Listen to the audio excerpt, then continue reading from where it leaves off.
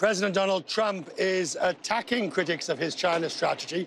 He tweeted today, he said, they have tried to handle it before and failed miserably. In fact, they got taken to the cleaners. We are doing very well with China.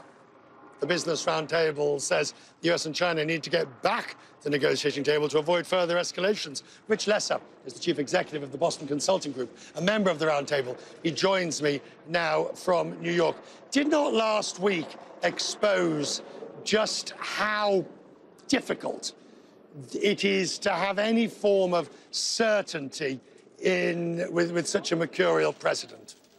I think the uncertainty has gone on for longer and been more intense than people expected.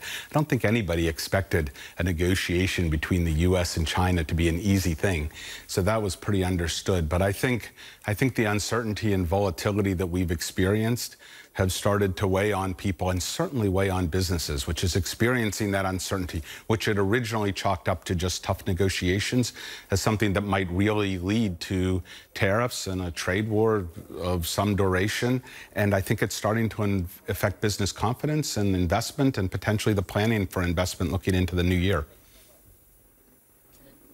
Are, are, your clients actually telling you, do you know, we'd like to do this deal, or we'd like to build this factory, or do this expansion, but we're just not going to do it now?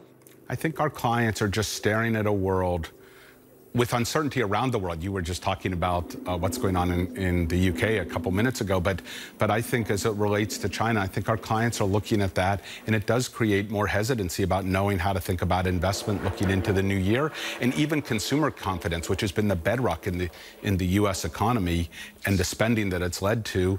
You start to worry if the tariffs flow through, if farmers continue to be hit quite hard, that, that it will really start to sap the energy on the consumer side. So yes, I do think there is an impact of, that this uncertainty has in weighing on thinking about investment into next year.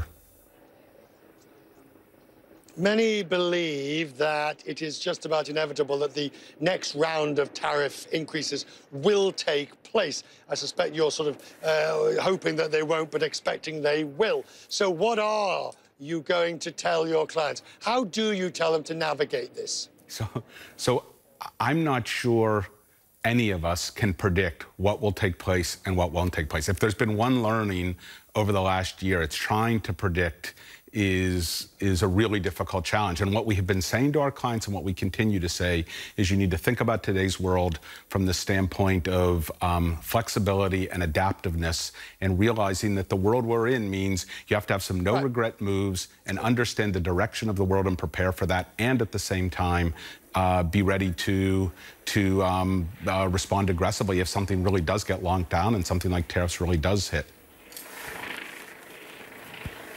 Rich, um, I, am not trying to take you into deep political waters, but you, you've got enough management experience and consulting experience. When the president says, as he did at the G7, questioned about the this on the one hand and that on the other hand, he said, that's just the way I negotiate. Is that a sound way to negotiate?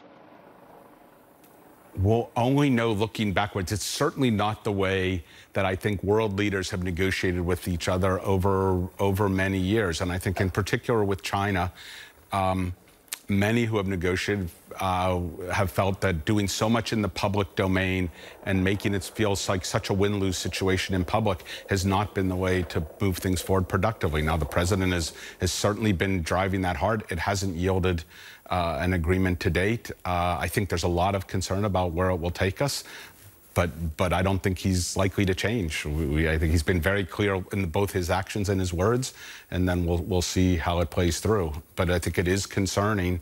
I think it is raising genuine high levels of uncertainty, certainly on the business side, certainly in the agricultural community, and so far not so much on the consumer side, but maybe some early signs. Uh, hopefully not. As I said, that's been the real bedrock around the economy here.